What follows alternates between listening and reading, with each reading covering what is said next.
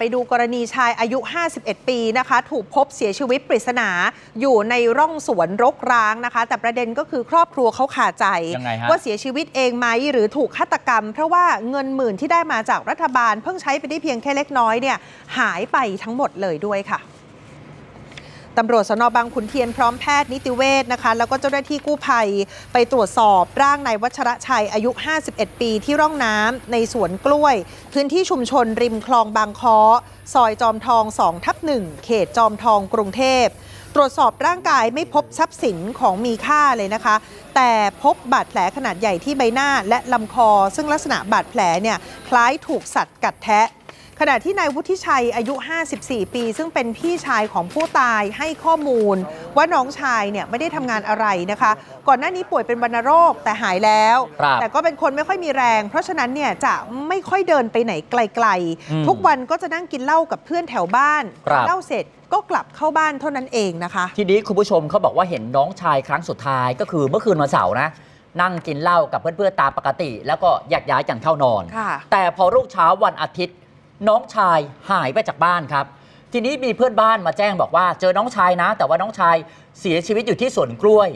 ซึ่งสวนกล้วยเนี่ยคุณผู้ชม มันอยู่ห่างจากบ้านไป 1 กิโลเมตรกว่าๆมันผิดปกติแล้วอะเพราะเขาบอกว่าน้องไม่ค่อยมีแรงเนี่ยจะไม่นั่นเดินน่ะไปสิไหนไกลๆเนก็อะติดใจมากเพราะว่าน้องชายไม่น่าจะเดินไปจุดนั้นได้ มันอยู่ห่างกันมากคุณผู้ชม แล้วทางเข้าไปสวนกล้วยมันก็ลำบากที่สำคัญครับประเด็นสำคัญก็คือไอ้เงินหมื่นที่ทางรัฐบาลเขาให้มาเนี่ยคุณผู้ชมครับ คือน้องชายได้ เพิ่งไปรับมาไปกดเงินมาเอง แต่ใช้แค่บางส่วน เหลือติดตัวประมาณ 7-8พันเงินก้อนนี้หายไปครับ ตรงที่ว่ามันจะเดินเข้ามาได้ยังไงเนี่ยครับ เพราะมันไม่มีแรงเดินเข้ามาแน่เป็นกิโลกิโลผู้ไม่ชายทำงานอะไรไม่ได้ทำครับ ไม่ได้ทำอยู่บ้านเฉยครับ แต่ว่ามันเพิ่งได้รับเงินหมื่นเงินรัฐ เงินอ๋อรัฐบาลได้รับเงินสวัสดิการจากจากรัฐบาลเหมืคอรันบเดิมใช้ไปประมาณ2องสามพันเหลือเหลืออยู่เจ็ดแปดพันอย่างเงี้ยครับมันบอกใช้ไปแล้วสองพันแล้วก็หายไปครับนายสุวรรณอายุ 54 ปีเป็นเพื่อนผู้เสียชีวิตนะคะ มีอาชีพเป็นคนขับรถส่งผ้าที่สำเพ็งครับบอกว่าเขากับเพื่อนเนี่ยมักจะกินเหล้าด้วยกันบ่อย ล่าสุดก็คือค่ำวันเสาร์กินเสร็จก็แยกย้ายเข้านอน พอเช้าวันอาทิตย์ไปหาเพื่อนที่บ้านไม่เจอแล้วตกใจมากเลยนะคะ ที่รู้ข่าวว่า เพื่อนเสียชีวิตแล้ว แต่ก็เชื่อว่าเพื่อนไม่น่าจะเดินมาไกลขนาดนี้ เพราะว่าไม่ค่อยแข็งแรง เพื่อนคนนี้เขาก็เลยคิดว่าน่าจะมีคนทำร้ายมากกว่า ส่วนเรื่องที่ว่าเพื่อนได้เงินหมื่นมา อันนี้เขาบอกเขาไม่เคยรู้มาก่อนเลยค่ะขณะเดียวกันเนี่ยนะคะ คุณผู้ชมเช้าวันนี้ตำรวจชุดสืบสวนสอนอบางขุนเทียนครับก็ไปตรวจสอบจุดเกิดเหตุที่สวนกล้วยรกร้างที่ว่านี้แหละค่ะ ปรากฏว่าหลานสาวผู้ตายมาให้ข้อมูลเพิ่มเติม แล้วฝากคุณตำรวจหาคำตอบหน่อยได้ไหม สิ่งที่ญาติติดใจก็คือ ผู้ตายเองนะ ไม่น่าจะเดินมาถึงจุดนี้ได้เองด้วยซ้ำแล้วเงินที่พกติดตัวอยู่ 7-8,000 บาทหายไปไหน ที่สำคัญนะคะ มีคนที่บริเวณหน้าปากซอย เขามาบอกกับครอบครัวผู้ตายว่า เห็นผู้ตายเนี่ยทะเลาะกับคนคนหนึ่งอ่าก็อยากให้ตำรวจคลี่ปมนี้หน่อยว่าข้อเท็จจริงเป็นอย่างไรนะคะมี คนเห็นค่ะใช่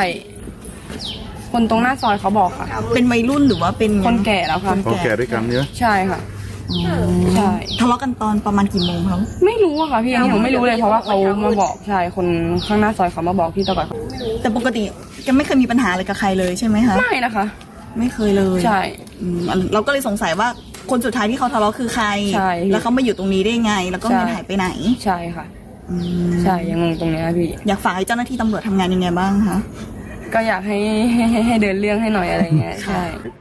เบื้องต้นนะคะตำรวจชุดสืบสวนที่ลงพื้นที่จะเร่งไปตรวจสอบกล้องวงจรปิด บริเวณโดยรอบ แล้วก็บริเวณใกล้เคียง สถานที่เกิดเหตุอีกครั้งหนึ่งนะคะ ส่วนร่างของลุงก๋อยวันนี้ญาติๆก็ไปรับศพมาทำพิธีทางศาสนาแล้วนะคะครับอะตามกันต่อนะครับสาเหตุของการเสียชีวิตนะครับ ดูคลิปจบแล้วอย่าลืมกดไลค์กดแชร์ กด subscribe นะคะ ที่สำคัญค่ะ อย่าลืมกดกระดิ่ง จะได้ไม่พลาดทุกข่าวสำคัญกับสำนักข่าว One News เชื่อมั่นในข่าวมั่นใจ One News ค่ะ